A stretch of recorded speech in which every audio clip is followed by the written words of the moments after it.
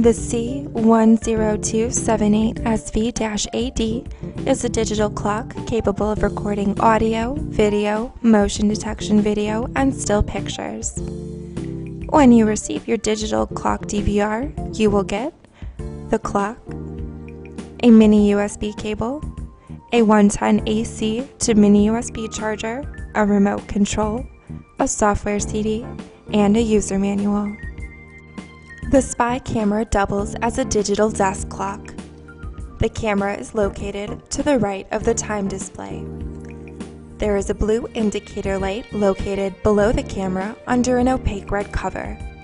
The indicator light informs the user what mode the camera is in. The micro SD card, USB port, and on-off switch are located under the black rotational cover on the right-hand side of the camera. The camera function buttons are located on the remote control.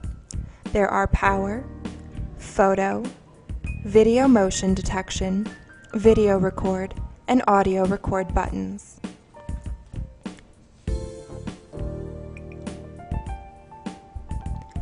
The DVR is run with a built-in rechargeable battery which powers a quarter-inch CMOS image sensor.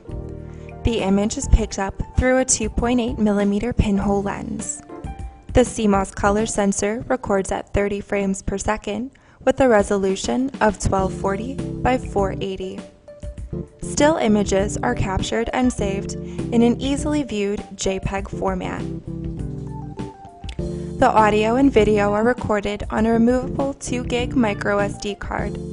The rechargeable battery takes 2 to 3 hours to charge and will last 1 to 2 hours. To turn on, Remove the clear plastic strip on the back side of the camera to the right of the Don't Open label. Then, remove the clear plastic strip from the left-hand side of the remote control. If these plastic strips are not removed, the camera will not function. Open the rotational cover on the right-hand side of the camera and slide the bottom switch to on. Using the remote control, press the power button to turn on the camera. A blue light will appear underneath the IR sensor. To record video, press the video button once. A blue light will slowly blink three times, then go out. Once the light goes out, the camera is recording video. To stop recording video, press the video button once. To record audio, press the microphone button once. The blue light will blink once and stay on. The camera is now recording audio. To stop audio recording, press the microphone button once. To take a picture, press the camera button once. The blue light will blink, taking the picture. To take another picture, press the button again. The camera returns to standby mode after every picture. To turn on motion detection, press the motion button once. The blue light will go out, then start blinking rapidly until motion is detected. Once motion is detected, the blue light will blink slowly three times and go out. Video is now being recorded. The default recording time is 3 minutes.